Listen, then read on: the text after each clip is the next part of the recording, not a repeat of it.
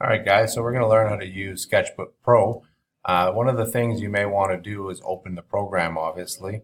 Uh, this is the lagoon down here and this is your, uh, your brush panel which you can bring up and my color editor. Anything that you don't know where it is, you just go to window. Like for example, I like having my layer editor just like I do in Photoshop show up. Uh, so there it is. I can have multiple layers. Obviously I'm drawing on this layer currently. And so I'm going to just you know, maybe it doesn't dock, so I'll just see if I can. So way to snap this, I just forget how to do it. And my color editor. So it's kind of what I need right now. And I'm going to use this pen tool right here for, uh, okay, so I'm going to click on that.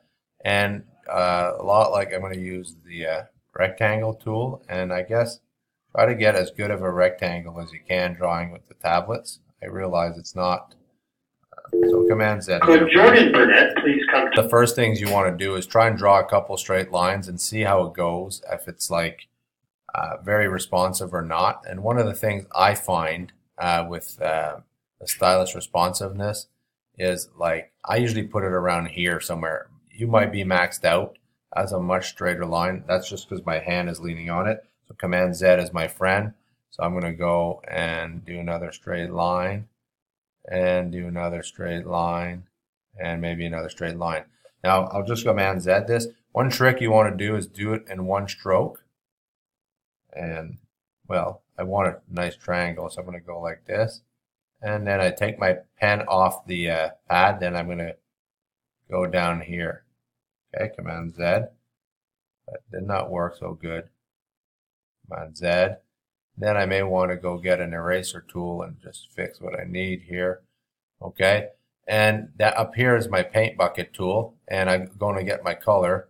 I want to paint my, I'm going to make an angry bird. So I'm going to just, whoops, command Z and I'm going to select here so, and here and whoops, command Z. I'm going to paint in there. I'm really happy with that. Then I'm going to go back to my pen tool and uh, these puck tools here, just just to show you, you can move them. This is the opacity puck. This is the color puck. So you can, you know, click and see how it goes darker in the same red. And then up here lighter. So you got your shades as well. So I just click and drag in here. So that's meant to be a lot, you know, if you were going to try and repaint a different color over here for some reason and you want that same, okay? Uh, and then what I want you to do is I'm going to using Perfory, and I didn't say this a while ago, but whatever you're drawing, use those uh, handouts that I gave you and try to uh, to make uh, drawings based on that. So um, if I go to the reference image, I'm basically drawing an angry bird. I can't remember off the top here, so I'm just going to go and look to the. Give me a second here. I'm recording and I go back and there are different, I, I just noticed I made it red, doesn't matter. I'm going to do a little black uh, top here. So I'll use that brush and, you know, don't make it look exactly the same as theirs. Then I could just use the paint bucket tool. It's just easier to fill that in. And I'll go back and forth, Alt Tab.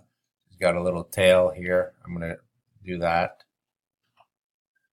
I'll say that's good enough for now. Maybe I want to color that in and I'm going to go, I don't know the hotkeys here. If somebody figures that out, let me know.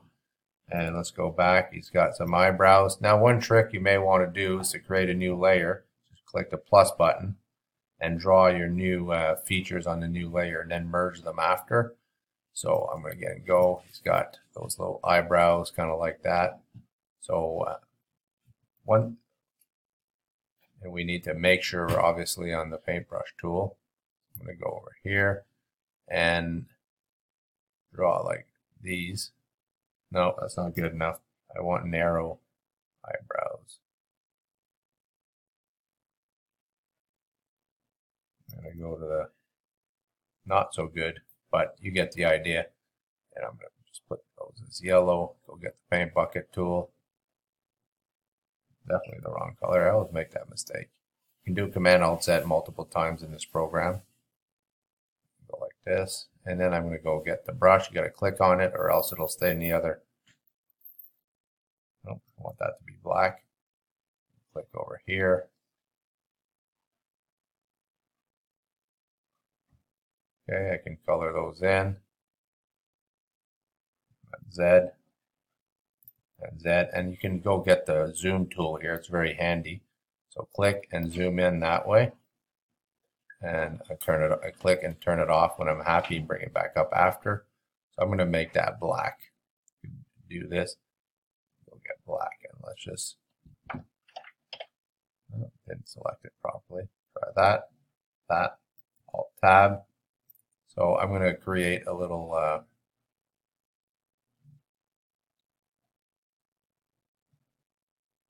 probably do this on a separate layer. Well, it is on a separate layer right now, so go like this. I'm going to go white. Doesn't have to be exactly the same. I'm going to click Paint Bucket tool. It's easier. Alt Tab. I want a beak. So why don't I use a black stroke for the edge? Always, it's always nicer in cartoon drawings. And I didn't show you this. please come to the My brush is too thick. I just go over here and I have it at 2.0 uh, which I like. So you can just move that in the opacity.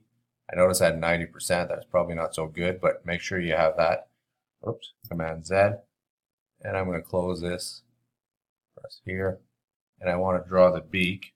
I forget exactly. I need to make sure I hit the brush here. So I'm going to go like this. And then I'm going to draw a nice line here. I'll pretend that's good enough. Then I go get the color. Paint bucket tool, I want orange, I believe. And I'm just going to click here. Oops, forgot to click. Over here. And that same thing as before. If you hit the, oh, it's the same color. Command Alt Z, like this, and like this. And that's not a very nice looking bird because I'm going really quickly. But you basically want that, uh, you know, using that and then when you're happy, you can go File, Save, and Export as JPEG. If you need to work, you actually can save as Photoshop files in here. So you can do that, click Save. If you're not done. If you are done, your three characters, save as and as a JPEG. And, you know, give it the proper bird name, so Angry Birds or whatever. Then upload that to Google Classroom. Now I've used my pen for the, the whole thing here. So if you had a transparent background, you could, uh, and you know, try to make three uh, characters using uh, those tutorials. So that's your goal for today. If you have any questions, please let me know.